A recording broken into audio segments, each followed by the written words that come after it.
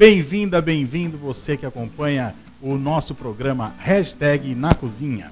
E hoje nós vamos preparar um delicioso strudel de maçã, uma receita prática e muito saborosa. O que é que nós vamos precisar?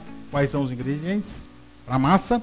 200 gramas de farinha de trigo, um pouquinho de água, só 40 ml de água, duas colheres de azeite de oliva, um ovo e uma pitadinha de sal. Vamos misturar tudo isso para preparar nossa massa? Essa, como eu disse, gente, é uma receita muito prática, muito fácil.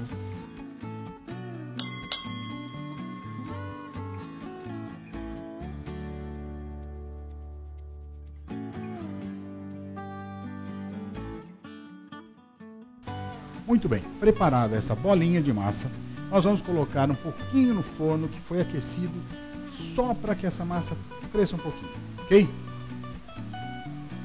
Agora a gente vai partir para preparar o recheio do nosso Apfelstrudel. Uma curiosidade sobre esse doce, muita gente acha que ele é um doce de origem alemã, na verdade, o strudel é um doce de origem austríaca. A receita mais antiga registrada, imaginem, é de 1696, muito antiga. E é um doce que se popularizou pelas, pelos países vizinhos da Áustria. Como a maioria dos doces daquela região, ele não leva muito açúcar, que é um diferencial com relação à doçaria brasileira, de origem mais portuguesa. Então, é um doce com um teor menor de açúcar, ele é mais saudável, portanto. O strudel, a, a palavra strudel significa torta de massa folhada. Então, existem as versões salgadas e as doces, e essa que nós estamos fazendo hoje é a mais famosa no mundo, a mais conhecida, que é o strudel doce de maçã. Vamos lá para o recheio?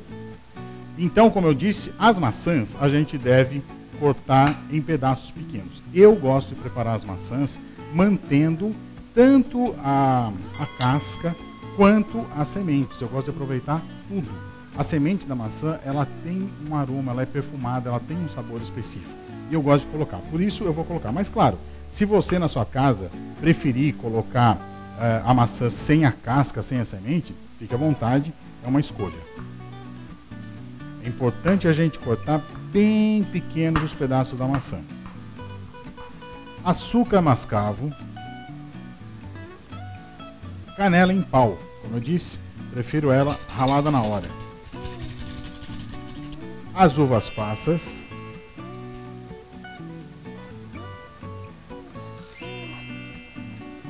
Agora, gente, um detalhe importante, para dar um toquinho a mais de acidez. A maçã já tem acidez, mas um pouquinho mais. Vale o suco de um limão no recheio.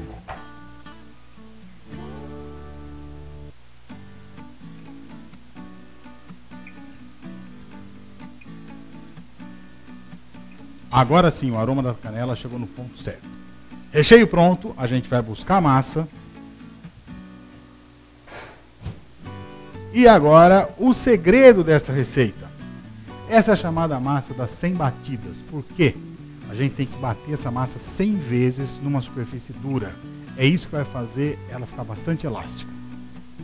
Uma, duas, três, quatro.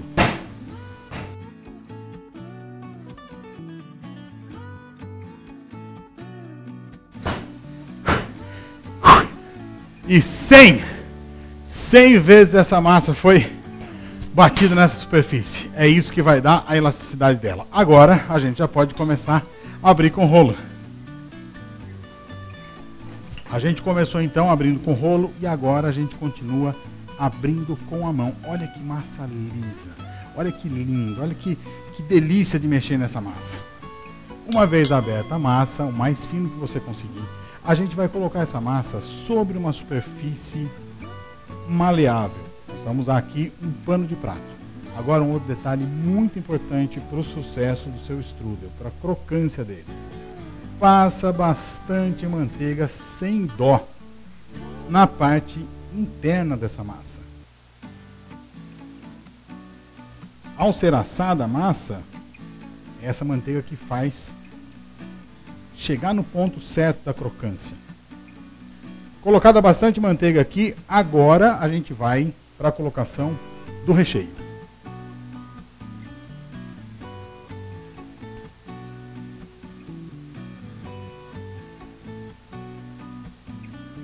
E aí a gente começa a enrolar o formato de rocambole do nosso strudel. Por isso a importância do pano, porque é ele que vai dar o apoio. Deu sequência. Enrola um pouco e vai apertando.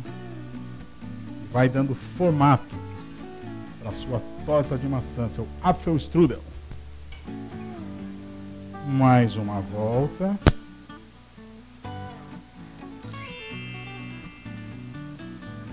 Fechamos o strudel aqui. Vamos dar uma fechada nas pontas. E agora a gente coloca na assadeira e leva ao forno. Com muito cuidado para que essa massa não rasgue. Para a gente montar aqui a apresentação dele, vou fazer o corte em dois pedaços. O outro deste jeito, prato. E aí por cima a gente coloca um pouquinho de açúcar de confeiteiro, só para dar um charme.